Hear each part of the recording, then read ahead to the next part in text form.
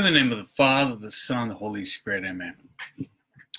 In two days, August 14th, we're going to be celebrating the feast day of St. Maximilian Kolbe. Here you can see a picture of St. Maximilian Kolbe with a relic. St. Maximilian Kolbe is a saint that had great devotion to Mary. He actually gave his life for man during the time of Hitler.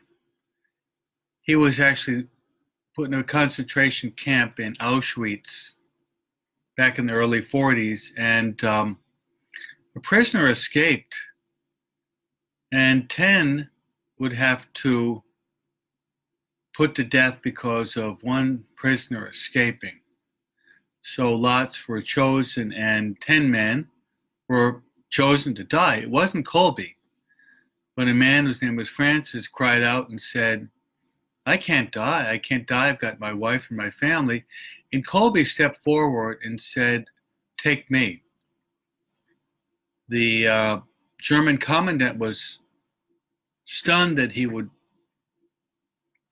come up out of line, breaking line, and uh, asked, Who are you? And Kolbe, without any identity crisis, said, I'm a Catholic priest.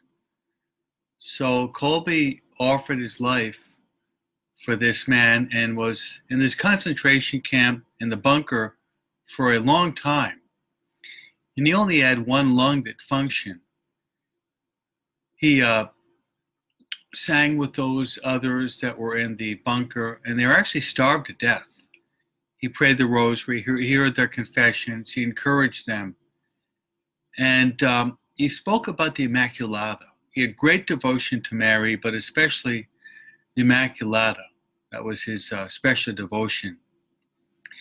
And all of them died. Nine died, and Kolbe was the most tenacious. He didn't die until finally they they injected carbolic acid in his uh, in his veins, and then that took his life.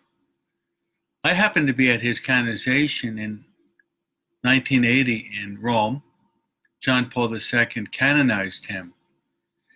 And he was proclaimed a martyr, but a martyr of charity because he gave up his life for another man in imitation of Jesus, who gave up his life for us. So in a couple of days, we'll be celebrating this great saint, Saint Maximilian Kolbe, who loved Mary very much. He, he, his feast is August 14th, and the following day is the feast day of the Assumption of Mary.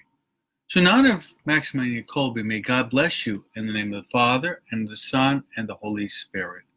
Amen.